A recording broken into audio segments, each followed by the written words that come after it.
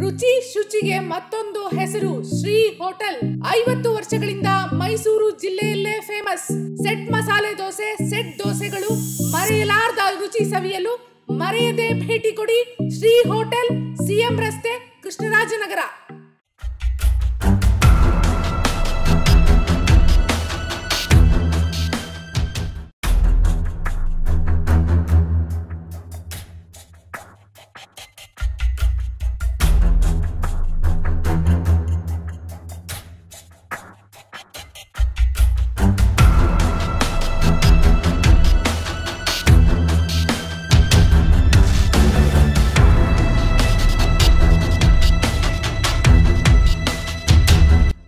Channel ವೀಕ್ಷಕರೇ, ಇವತ್ತಿನ ಸುದ್ದಿ ವಿಶ್ಲೇಷಣೆಗೆ ಸ್ವಾಗತ. ಇವತ್ತು ನಾನು ನಿಮ್ಮ ಮುಂದೆ ಪ್ರಸ್ತುತಪಡಿಸಿರ್ತಕ್ಕಂಥ ವಿಶ್ಲೇಷಣೆ ಏನು ಅಂತಂದ್ರೆ ಮುಂದಿನ ದಿನಗಳಲ್ಲಿ ಮತದಾರರಿಗೆ ಮತದಾನ ಇರುತ್ತಾ ಅಂತ ಹೇಳಿ ಯಾಕೆಂದ್ರೆ, ಆ ಒಂದು ಅನುಮಾನ ಈಗ ಕಡಕ್ ಶುರುವಾಗಿದೆ. ಯಾಕೆಂದ್ರೆ, ಚುನಾವಣೆ ಹತ್ರ ಬರ್ತಾ ಇರೋ ಹಾಗೇನೆ ಆಡುವ ಪಕ್ಷ, ಆಳುವ ಸರ್ಕಾರ ಈಗ ಹಲವಾರು ಗಿಮಿಕ್ಗಳನ್ನು ಮಾಡಕ್ ಶುರು ಮಾಡಿದೆ. ಮತ್ತೆ ಆಡಳಿತ ವಿರೋಧಿ, ಜನ ವಿರೋಧಿ ಸರ್ಕಾರ ಅಂತ ಹೇಳಿ ಜನರಿಂದ ಟೀಕೆಗೊಳಗಾದ ನಂತರ ತಮ್ಮ ಸರ್ಕಾರವನ್ನು ಮತ್ತೆ ತರಬೇಕು ಅಂತ ಹೇಳಿ ವಾಮ ಮಾರ್ಗದಲ್ಲಿ ಅಧಿಕಾರವನ್ನು ಹಿಡಿಬೇಕು ಅಂತ ಹೇಳಿ ಸರ್ಕಾರ ಅನೇಕ ಮಾರ್ಗಗಳನ್ನು ಅನುಸರಿಸ್ತಾ ಇದೆ. ಈ ಮಾರ್ಗಗಳಲ್ಲಿ ಏನಪ್ಪ ಅಂತಂದರೆ ಮತದಾರರ ಪಟ್ಟಿಯನ್ನೇ ಖಾಸಗಿ ಸಂಸ್ಥೆಗಳಿಗೆ ಮಾಹಿತಿಯನ್ನು ಮಾರಿ ಆ ಮಾಹಿತಿಯನ್ನು ಇಟ್ಕೊಂಡು ಉಳಿದ ಮತದಾರರು, ಅಂದ್ರೆ ಆ ಮತದಾರರು ಇದರೋ ಇಲ್ವೇ ಅನ್ನ ಪತ್ತೆ ಮಾಡಿಕೊಂಡು ಬೇರೆ ನವ ಮತದಾರರನ್ನ ಸೃಷ್ಟಿ ಮಾಡುವಂತಹ, ತಮಗೆ ಮತ ಹಾಕದ ಮತದಾರರನ್ನು ತೆಗೆದು ಹಾಕುವಂತಹ ಪ್ರಕ್ರಿಯೆ ಆರಂಭವಾಗಿದೆ. ಈ ಆರಂಭ ಮಾಡಿರ್ತಕ್ಕಂಥದ್ದು ಮುಖ್ಯಮಂತ್ರಿ, ಸ್ವತಃ ಮುಖ್ಯಮಂತ್ರಿ ಬಸವರಾಜ ಬೊಮ್ಮಾಯಿ ಅವರು ಬಸವರಾಜ ಬೊಮ್ಮಾಯಿ ಅವರ ಜೊತೆಗೆ ಬೆಂಗಳೂರಿನ ಸಚಿವ ಒಬ್ರು ಮತ್ತು ಅವರ ಬೇನಾಮಿ ಸಂಸ್ಥೆ ಇದರಲ್ಲಿ ನೇರವಾಗಿ ಪಾಲ್ಗೊಂಡಿದೆ ಅಂತ ಹೇಳಿ ಕಾಂಗ್ರೆಸ್ ಪಕ್ಷ ಇವತ್ತು ನೇರವಾಗಿ ಆರೋಪ ಮಾಡಿದೆ. ಇದುವರೆಗೂ ಸಹ ಏನೇ ಭ್ರಷ್ಟಾಚಾರ ಆರೋಪ ಕೇಳಿ ಬಂದಿದ್ರು ಕೂಡ ಕಾಂಗ್ರೆಸ್ ಪಕ್ಷ ಬಸವರಾಜ ಬೊಮ್ಮಾಯಿ ಅವರ ರಾಜೀನಾಮೆಯನ್ನ ಕೇಳಿರಲಿಲ್ಲ. ಮತ್ತು ರಾಜೀನಾಮೆಯನ್ನು ಕೊಡಬೇಕು ಅಂತೇಳಿ ಒತ್ತಾಯ ಮಾಡೋದು ಕೂಡ ಮಾಡಿಲ್ಲ. ಆದರೆ ಇವತ್ತು ಸ್ವತಃ ಸಿದ್ದರಾಮಯ್ಯ, ಮಾಜಿ ಮುಖ್ಯಮಂತ್ರಿ ಸಿದ್ದರಾಮಯ್ಯನವರು ಮತ್ತು ಕಾಂಗ್ರೆಸ್ ಪಕ್ಷದ ವಕ್ತಾರ, ಕಾಂಗ್ರೆಸ್ ಪಕ್ಷದ ಈ ರಾಜ್ಯ ಉಸ್ತುವಾರಿ ಹೊತ್ತಿರ್ತಕ್ಕಂಥ ರಣದೀಪ್ ಸುರ್ಜೇವಾಲ ಮತ್ತು ಕೆ ಪಿ ಅಧ್ಯಕ್ಷ ಡಿ ಕೆ ಶಿವಕುಮಾರ್ ಇವತ್ತು ಅತ್ಯಂತ ಹಕ್ಕೊತ್ತಾಯ ಮಾಡಿದ್ರು. ಏನು ಮತದಾರರ ಮಾಹಿತಿ ಸೋರಿಕೆಯಾಗಿದೆ. ಮತದಾರರ ಮಾಹಿತಿಯನ್ನ ನಕಲಿ ಅಧಿಕಾರಿಗಳನ್ನ ಸೃಷ್ಟಿ ಮಾಡಿ. ನಕಲಿ ಅಧಿಕಾರಿಗಳನ್ನು ಸೃಷ್ಟಿ ಮಾಡಿ ಆ ನಕಲಿ ಅಧಿಕಾರಿಗಳ ಮೂಲಕ ಮಾಹಿತಿಯನ್ನು ಸಂಗ್ರಹಿಸಿ ಆ ಒಂದು ಬೇರೆ, ಒಂದು ಮತದಾರ ಪಟ್ಟಿಯನ್ನೇ ತಯಾರು ಮಾಡಕ್ ಹೊರಟಿದ್ದಾರೆ ಅನ್ನೋ ಆರೋಪವನ್ನು ಮಾಡಿದ್ರು. ಈ ಆರೋಪಕ್ಕೆ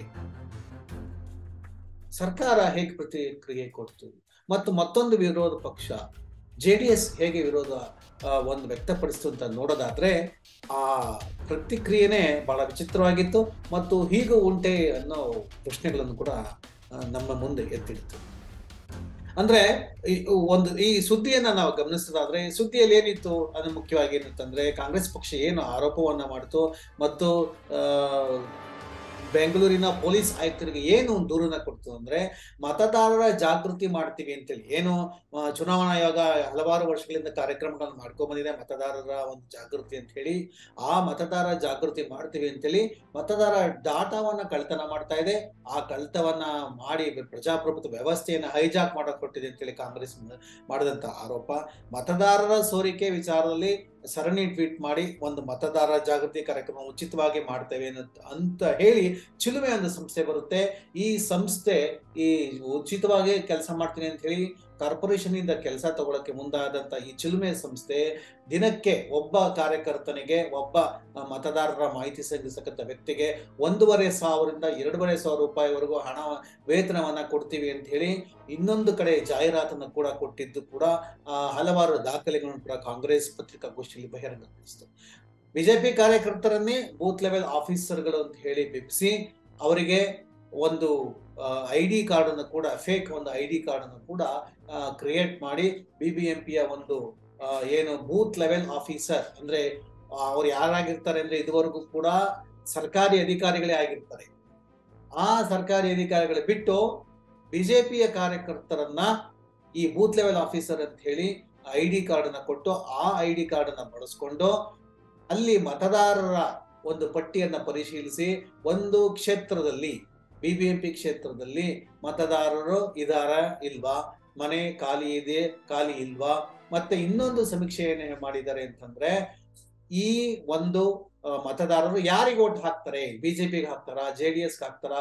ಕಾಂಗ್ರೆಸ್ ಓಟ್ ಹಾಕ್ತಾರಾ ಅನ್ನೋ ಒಂದು ಪ್ರಶ್ನೆಗಳನ್ನು ಕೂಡ ಈ ಬೂತ್ ಲೆವೆಲ್ ಆಫೀಸರ್ಗಳು ಕೇಳಿದ್ದಾರೆ. ಮತ್ತು ನೀವು ಕಾಂಗ್ರೆಸ್ ಓಟ್ ಹಾಕಿದ್ರೆ B J J D S vote ಹಾಕಿದ್ರೆ ನಿಮ್ಮ ಹೆಸರು ಮತದಾರರ ಪಟ್ಟಿಯಲ್ಲಿ ಇರಲ್ಲ ಅಂತ ಕೂಡ ಬೆದರಿಸಿದ್ದಾರೆ. ಮತ್ತು ಈ ಎಲ್ಲ ಎಲ್ಲಿ ಮನೆ ಖಾಲಿ ಇದೆಯೋ ಆ ಮನೆಗಳನ್ನ ಲಿಸ್ಟ್ ಮಾಡ್ಕೊಂಡು ಬಂದಿದ್ದಾರೆ. ಅಲ್ಲಿ ನವ ಮತದಾರರನ್ನ ಅಥವಾ ಬಿಜೆಪಿ ಪರವಾಗಿ ಬರ್ತಕ್ಕಂಥ ಮತದಾರನ ಪ್ರತಿಷ್ಠಾಪನೆ ಮಾಡ್ತಕ್ಕಂಥದ್ದು ಈ ಒಂದು ಸಂಸ್ಥೆಯ ಉದ್ದೇಶ. ಅಂದ್ರೆ ಉಚಿತವಾಗಿ ಒಂದು ಕಡೆ ನಾವು ಈ ಮತದಾರರ ಒಂದು ಜಾಗೃತಿ ಮಾಡ್ತೀವಿ ಅಂತ ಹೇಳಿ ಬಂದಕ್ಕಂತಹ ಒಂದು ಸಂಸ್ಥೆ, ಅವರಿಗೆ ಒಂದೂವರೆ ಸಾವಿರ ರೂಪಾಯಿ ವೇತನವನ್ನು ಯಾಕೆ ಕೊಡುತ್ತೆ? ಅದರ ಲಾಭಾಂಶ ಯಾವುದು ಅನ್ನೋದು ಕೂಡ ಕಾಂಗ್ರೆಸ್ ಇರ್ತಕ್ಕಂಥ ಪ್ರಶ್ನೆ. ಇನ್ನು ಈ ಒಂದು ಈ ಒಂದು ಚಿಲುಮೆ ಸಂಸ್ಥೆ ಬಿಜೆಪಿ ಸರ್ಕಾರದ ಮುಖ್ಯ, ಮುಖ್ಯಮಂತ್ರಿಯ ಆಪ್ತ ಸಚಿವ ಅವರ ಸಂಬಂಧಪಟ್ಟಂತಹ ವ್ಯಕ್ತಿ. ಯಾರಪ್ಪ? ಅವರು ಅಂದ್ರೆ ಅವರೆಲ್ಲರೂ ಕೂಡ ಕೃಷ್ಣ ಕೃಷ್ಣ ಅಂತ ಹೇಳಿ ಆ ಕೃಷ್ಣ ಅವರ ಬಗ್ಗೆ ಎಲ್ಲ ಮಾಹಿತಿ ಇದೆ. ಆ ಕೃಷ್ಣ ಅವರ ಹುಟ್ಟುಹಬ್ಬಕ್ಕೆ ಸಚಿವರು, ಸಚಿವ ಕೃಷ್ಣಪ್ಪ ರವಿಕುಮಾರ್ ಚಿಲುಮೆ ಸಂಸ್ಥೆ ಅವ್ರಿಗೆ ಸೇರಿದ್ದು. ಅವರಿಗೆ ಸಿ ಎನ್ ಅಶ್ವಥ್ ನಾರಾಯಣ್ ಅವರಿಗೂ ಅವಿನಾಭಾವ ಸಂಬಂಧ ಇದೆ. ಅವರು ಹುಟ್ಟುಹಬ್ಬದ ಕಾರ್ಯಕ್ರಮದಲ್ಲಿ ಅವರು ಭಾಗವಹಿಸ್ತಾರೆ. ಅವರ ಹಿತೈಷಿ ಅಂತ ಹೇಳಿ ಕೂಡ ಅವರು ಮತದಾರರ ಒಂದು ಕಾರ್ಯಕ್ರಮವನ್ನ ನಡೆಸೋದಕ್ಕೆ ಆ ಸಂಸ್ಥೆಗೆ ಕೊಡಿಸಿದ್ದಾರೆ ಅವ್ರು ಹೇಳ್ತಾರೆ ಆಗ ಇದಕ್ಕೆ ಸಂಬಂಧಪಟ್ಟಂಗೆ, ಈ ಇಷ್ಟೆಲ್ಲ ಮಾಹಿತಿ ಇದ್ರು, ಇಷ್ಟೆಲ್ಲ ಸಾಕ್ಷಿ ಇದ್ರು ಕಳ್ಳತನಕ್ಕೆ ಬಿಜೆಪಿ ಪಕ್ಷವೇ ಚಿಲುಮೆ ಸಂಸ್ಥೆಯನ್ನ ಬಳಸಿಕೊಂಡಿರೋದಕ್ಕೆ ಇನ್ನೇನು ಸಾಕ್ಷಿ ಬೇಕು? ಹೊಂಬಾಳೆ ಸಂಸ್ಥೆಗೂ ಚಿಲುಮೆ ಸಂಸ್ಥೆಗೂ ಸಂಬಂಧ ಇದೆ. ಇವೆರಡೂ ಸಂಸ್ಥೆಗಳು ಅಶ್ವಥ್ ನಾರಾಯಣ ಅವರಿಗೆ ಸೇರಿದ ಸಂಸ್ಥೆಗಳು. ಈ ಒಂದು ಹಿನ್ನೆಲೆಯಲ್ಲಿ ಮತದಾರರ ಮಾಹಿತಿಯನ್ನು ಕದಿರ್ತಕ್ಕಂಥ ಮತದಾರರ ಮಾಹಿತಿಯನ್ನು ತಿರುಚಿ ತಮಗೆ ಬೇಕಾದಂಥ ಅನುಕೂಲ ಮಾಡಿಕೊಳ್ತಾ ಮತ್ತು ಮತದಾರರನ್ನು ಬಿ ಜೆ ಬಿಜೆಪಿ ಪಕ್ಷ ಮಾಡ್ತಾ ಇದೆ. ಹಾಗಾಗಿ ಚೀಫ್ ಜಸ್ಟಿಸ್ ಆಫ್ ಹೈಕೋರ್ಟ್ ಅವರ ಒಂದು ನೇತೃತ್ವದಲ್ಲಿ ತನಿಖೆ ನಡೀಬೇಕು ಮತ್ತು ಕೂಡಲೇ ಮುಖ್ಯಮಂತ್ರಿಗಳು ರಾಜೀನಾಮೆ ಕೊಡಬೇಕು ಮತ್ತು ಈ ಒಂದು ಕೃತ್ಯಕ್ಕೆ ಅಂದರೆ ಬೂತ್ ಲೆವೆಲ್ ಆಫೀಸರ್ ಅಂದರೆ ಇವರು ಅವ್ರ ಆಫೀಸರ್ ಅಲ್ಲ ಅವರು ಇಂಪರ್ಸನೈಸೇಷನ್ ಅಂದರೆ ಐ ಪಿ ಸಿ ಸೆಕ್ಷನ್ ಪ್ರಕಾರ ಕ್ರಿಮಿನಲ್ ಪ್ರೊಸೀಜರ್ ಪ್ರಕಾರ ಈ ಒಂದು ಅಪರಾಧ ಆಗುತ್ತೆ ಅಂತಲೂ ಕೂಡ ಸಿದ್ದರಾಮಯ್ಯ ಬಹಿರಂಗವಾಗಿ ಘೋಷಣೆ ಮಾಡಿದ್ರು. ಈ ಎಲ್ಲ ಹಿನ್ನೆಲೆಯಲ್ಲಿ ಮುಖ್ಯಮಂತ್ರಿ ರಾಜೀನಾಮೆ ಕೊಡಬೇಕು ಅಂತ ಕೂಡ ಹೇಳಿದ್ರು. ಅಂದ್ರೆ ಡಾಟಾವನ್ನ ಕಳತನ ಮಾಡಿ ರಾಜಕೀಯ ಪಕ್ಷಗಳೊಂದಿಗೆ ಸಂಬಂಧ ಇರದೇನೆ ನೀವು ಸಂಸ್ಥೆಗೆ ಕೆಲಸ ಮಾಡಿ ಅಂತ ಹೇಳಿ ಬಿ ಬಿ ಎಂ ಪಿ ಅವರಿಗೆ ಒಂದು ಆದೇಶವನ್ನು ಕೂಡ ಕೊಟ್ಟಿತ್ತು. ಈ ಆದೇಶವನ್ನು ಕೂಡ ನನ್ನ ಸ್ಕ್ರೀನ್ ಮೇಲೆ ನೀವು ನೋಡಬಹುದು ಬರ್ತಾ ಇದೆ ಹಿಂದ್ಗಡೆ. ಜೊತೆಗೆ ಈ ಆದೇಶನ ಪಡ್ಕೊಂಡಂತಹ ಚಿಲ್ಮೆ ಸಂಸ್ಥೆ ಏನ್ ಮಾಡ್ತಾ ಇತ್ತು? ಅವರು ಒಂದು ವೋಟರ್ ಹೆಲ್ಪ್ ಲೈನ್ ಆಪ್ ಅಂತ ಮಾಡಿದ್ದಾರೆ. ಮತ್ತು ಗರುಡ ಆಪ್ ಅಂತ ಮಾಡ್ಕೊಂಡಿದ್ದಾರೆ. ಈ ಎರಡು ಆ್ಯಪ್ಗಳನ್ನು ಬಳಸಿಕೊಂಡು ಮತದಾರರ ಪಟ್ಟಿ addition deletion photo change address change everything app ಆಪ್ಷನ್ಗಳನ್ನು ನೀಡಲಾಗಿತ್ತು. ಇವೆಲ್ಲವನ್ನು ಕೂಡ ಮಾಡ್ತಾ ಇದ್ದಿದ್ದು ಮೊದಲು ಸ್ವತಃ ಬಿ ಬಿ ಎಂ ಏನು ಬೆಂಗಳೂರು ಒನ್ ಕಚೇರಿಗಳು ಮತ್ತು ಬಿ ಬಿ ಎಂ ಪಿಯ ಝೋನಲ್ ಆಫೀಸರ್ಗಳು ಮತ್ತು ಝೋನಲ್ ಏನು ಎ ಸಿಗಳಿರ್ತಿದ್ರು ಮತ್ತು ಇದು ಇನ್ನೊಂದು ಸ್ವತಃ ನಿಮಗೆ ವೀಕ್ಷಕರೇ ನಿಮ್ಗೆ ಗೊತ್ತಿರ್ಬೋದು ಬಿ ಬಿ ಎಂ ಪಿಯಲ್ಲೇ ಒಂದು ಎಲೆಕ್ಷನ್ ವಿಂಗ್ ಅಂತಿರುತ್ತೆ. ಆ ಎಲೆಕ್ಷನ್ ವಿಂಗ್ ಕೂಡ ಇದನ್ನು ಮಾಡ್ತಾ ಇರುತ್ತೆ ಇಷ್ಟೆಲ್ಲ ಇದ್ರೂ ಕೂಡ ಯಾಕೆ ಚಿಲುಮೆ ಸಂಸ್ಥೆಗೆ ಸರ್ಕಾರ ಮತ್ತು ಬಿ ಜೆ ಪಿ ಗುತ್ತಿಗೆಯನ್ನು ಕೊಟ್ಟಿದೆ? ಅವರು ಫ್ರೀಯಾಗಿ ಮಾಡಿಕೊಡ್ತೀನಿ ಅಂತ ಕೊಟ್ಟಿದ್ದಾರೆ ಅನ್ನೋ ಒಂದು ದಾಖಲಾತಿನ ಕೂಡ ಬಿ ಬಿ ಪಿ ಇಟ್ಕೊಂಡಿದೆ. ಫ್ರೀಯಾಗಿ ಮಾಡ್ತೀವಿ ಅಂತ ಹೇಳ್ತಕ್ಕಂಥ ಚಿಲುಮೆ ಯಾಕೆ ಕಾರ್ಯಕರ್ತರಿಗೆ ಒಂದೂವರೆ ಸಾವಿರ ರೂಪಾಯಿಗಳನ್ನು ಕೊಡ್ತಾ ಇದೆ? ಎರಡೂವರೆ ಸಾವಿರ ರೂಪಾಯಿಗಳನ್ನ ವೇತನ ಕೊಡ್ತಾ ಇದೆ. ಯಾವುದೇ ರಾಜಕೀಯ ಪಕ್ಷನಿಗೆ ಗುಡ್ಸ್ಕೊಳ್ಳಲ್ಲ ಅಂತ ಹೇಳ್ತಕ್ಕಂಥ ಏನು ಕೃಷ್ಣಪ್ಪ ಏನವರು ಪಾಪ ಯಾಕೆ ಅಶ್ವಥ್ ನಾರಾಯಣವ್ರ ಜೊತೆ ಗುಡ್ಸ್ಕೊತಾರೆ ಅಶ್ವಥ್ ನಾರಾಯಣನವರ ಆ, ಒಂದು ಹುಟ್ಟುಹಬ್ಬ ಸಮಾರಂಭದಲ್ಲಿ ಆ ಹುಟ್ಟಿದ ಸಮಾರಂಭ ಯಾಕೆ ಪಾ- ಪಾಲ್ಗೊಳ್ತಾರೆ ಇಲ್ಲಿ ಸ್ವೀಪ್ ಅಂತ ನೋಡಲ್ ಅಧಿಕಾರಿ, ಸ್ವೀಪ್ ಅನ್ನೋದು ಚುನಾವಣಾ ಆಯೋಗ ನಡೆಸ್ತಕ್ಕಂಥ ಒಂದು ಅಭಿಯಾನ ಮತ್ತು ಒಂದು ಕಾರ್ಯಾಗಾರ. ಇದು ಬಹಳ ವರ್ಷಗಳಿಂದ ನಡ್ಕೊಂಡ್ ಬರ್ತಾರೆ ಇದೆ ಎಲ್ಲರಿಗೂ ಗೊತ್ತಿರ್ತಕ್ಕಂಥ. ಈ ಸ್ವೀಪ್ ಈ ಸ್ವೀಪ್ ನಡೆಸತಕ್ಕಂಥ ಅಧಿಕಾರ ಇರ್ತಕ್ಕಂಥದ್ದು ಬಿ ಬಿ ಎಂ ಪಿಗೆ ಮಾತ್ರ. ಆದರೆ ಚಿಲುಮೆಯಂತಹ ಒಂದು ಖಾಸಗಿ ಸಂಸ್ಥೆಗೆ, ಚಿಲುಮೆಯಂತಹ ಖಾಸಗಿ ಸಂಸ್ಥೆಗೆ ಮಾಹಿತಿಗಳನ್ನು ಕೊಟ್ಟು ಆ ಮಾಹಿತಿಗಳು ಯಾ ಇದುವರೆಗೂ ಸಹ ಏನು ಬೆಂಗಳೂರಿನ ಎಲ್ಲ ಕ್ಷೇತ್ರಗಳ ಮಾಹಿತಿಗಳನ್ನ ಇವರು ಸಂಗ್ರಹಣ ಮಾಡಿದ್ದಾರೆ. ಸುಮಾರು ಆರು ತಿಂಗಳಿಂದ ಈ ಕೆಲಸ ನಡೀತಾ ಇದೆ. ಈ ಸಂಗ್ರಹಿಸಿದ ಮಾಹಿತಿಗಳು ಎಲ್ಲಿದ್ದಾವೆ? ಯಾರು ಕೊಟ್ಟಿದ್ದಾರೆ? ಯಾರಿಗೆ ಸಬ್ಮಿಟ್ ಮಾಡಿದ್ದಾರೆ? ಈ ಎಲ್ಲ ಪ್ರಶ್ನೆಗಳಿಗೆ ಕಾರ್ಪೊರೇಷನ್ ಕಮಿಷನರ್ ಆಗಲಿ, ಮತ್ತು ಸ್ವತಃ ಮುಖ್ಯಮಂತ್ರಿಗಳಾಗಲಿ, ಮತ್ತು ನನಗೂ ಇದಕ್ಕೂ ಸಂಬಂಧ ಇಲ್ಲ ಹೇಳ್ತಕ್ಕಂಥ ಸ್ವತಃ ಅಶ್ವಥ್ ನಾರಾಯಣ್ ಕೂಡ ಉತ್ತರವನ್ನು ಕೊಡ್ತಾರೆ.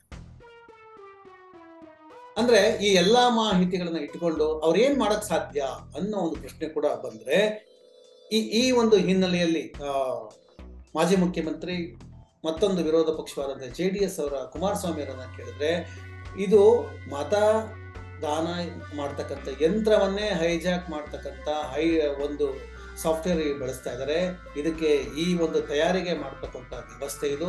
ಮತ್ತು ಆ ಸಂಸ್ಥೆಯವರೇ ಕೊಟ್ಟಿದ್ದಾರೆ ನಾವು ಇ ವಿ ಎಂ ಮಿಷನ್ಗಳನ್ನ ಬಳಸೋಕ್ಕೆ ಮತ್ತು ಇ ವಿ ಎಂ ಮಿಷನ್ಗಳ ಬಲಗೆ ನಿಮಗೆ ಹೆಲ್ಪ್ ಮಾಡ್ತೀವಿ. ಮತ್ತೆ ಇ ವಿ ಎಂ ಮಿಷನ್ ಸಂಬಂಧಪಟ್ಟಂಗೆ ನಮ್ಮಲ್ಲಿ ತಜ್ಞರಿದ್ದಾರೆ ಯಾರು ಒಂದು ಈ ಇ ವಿ ಎಮ್ನ ಸಂ, ತಯಾರು ಮಾಡ್ತಕ್ಕಂಥ ಸರ್ಕಾರಿ ಸಂಸ್ಥೆಯಲ್ಲಿ ಇದ್ರೋ ಅವರೇ ನಮ್ಮಲ್ಲಿದ್ದಾರೆ ಅವರು ಈ ಒಂದು ನಿಮಗೆ ನಿಟ್ಟಲ್ಲಿ ನೆರವಾಗ್ತಾರೆ ಅಂತ ಕೂಡ ಓಪನ್ ಟೆಂಡರ್ ಅಲ್ಲಿ ಇವರು ತಮ್ಮ ದಾಖಲಾತಿಗಳನ್ನ ಕೊಟ್ಟಿದ್ದಾರೆ. ಈ ಎಲ್ಲಾ ದಾಖಲಾತಿಗಳನ್ನ ಇಟ್ಕೊಂಡೇ ಕುಮಾರಸ್ವಾಮಿ ಅವರು ಹೇಳಿದ್ರು ಅಂದ್ರೆ ವೋಟಿಂಗ್ ಮಿಷಿನ್ಗಳನ್ನ ಹೈಜಾಕ್ ಮಾಡ್ತಾರೆ ಟ್ಯಾಂಪರ್ ಮಾಡ್ತಾರೆ, ತಮಗೆ ಬೇಕಾದಂತಹ ರೀತಿಯಲ್ಲಿ ಬದಲಾಯಿಸೋ ಸಾಧ್ಯತೆ ಇದೆ. ಆದರೆ ಈ ಏನು ಮತದಾರರ ಮಾಹಿತಿನ ಸಂಗ್ರಹಿಸಿದರೆ, ಈ ಮತದಾರರ ಮಾಹಿತಿ ಸಂಗ್ರಹಿಸಿ ಆರಂಭ ಮಾಡಿದೆ ಕಾಂಗ್ರೆಸ್ ಜಾತಿ, ವಾರು, ಒಂದು. ಸಮೀಕ್ಷೆಯನ್ನ ಮಾಡಿ ಆ ಸಮೀಕ್ಷೆ ಮಾಹಿತಿಯನ್ನೇ ಬಹಿರಂಗಪಡಿಸ್ಲಿಲ್ಲ. ಕೊನೆಗೆ ನಮ್ಮ ಸರ್ಕಾರ ಬಂದಾಗ ಮಾಹಿತಿಯನ್ನು ಬಹಿರಂಗ ಪಡಿಸ್ಲಿಲ್ಲ ಅಂತೇಳಿ ನನ್ನ ಮೇಲೆ ದೂರಿದ್ರು. ಆದ್ರೆ ಆ ಮಾಹಿತಿ ಎಲ್ಲಿ ತಮಗೆ ವಿರುದ್ಧ ಆಗುತ್ತೋ ಅನ್ನೋ ಕಾರಣಕ್ಕೆ ಅದನ್ನ ಬಹಿರಂಗ ಪಡಿಸ್ಲಿಲ್ಲ ಅಂತ ಹೇಳಿ ಕುಮಾರಸ್ವಾಮಿ ಅವರು ಕೂಡ ಸರಿಯಾಗಿ ಚಾಟಿಯೇಟ್ ಬೀಡಿಸ್ಬೇಕಾದಂತಹ ರೀತಿಯಲ್ಲಿ ಈ ಒಂದು ಟ್ಯಾಂಪರಿಂಗ್ ಕೇಸಲ್ಲಿ ಬೀಸಲಿಲ್ಲ. ಕೇವಲ ಅವರು ಕಾಂಗ್ರೆಸ್ಸನ್ನೇ ಗುರಿಯಾಗಿಟ್ಕೊಂಡು ಮಾತನಾಡ್ತಾ ಹೋದ್ರು. ಸಿದ್ದರಾಮಯ್ಯ ಅವರನ್ನ ಗುರಿಯಾಗಿಟ್ಕೊಂಡು ಮಾತಾಡ್ತಾರೆ ಆದ್ರೆ ಎಲ್ಲೂ ಕೂಡ ವಸ್ತುಶಃ ಅಂದರೆ ಆ ಕೇಸ್ ಸಂಬಂಧಪಟ್ಟಂತೆ ಮಾಹಿತಿಯನ್ನ ಕೊಡೋದಕ್ಕೆ ಅಥವಾ ಅದಕ್ಕೆ ಕೌಂಟರ್ನ ಕೊಡೋದಕ್ಕೆ ಕುಮಾರಸ್ವಾಮಿ ಅವರು ಮುಂದಾಗಲಿಲ್ಲ.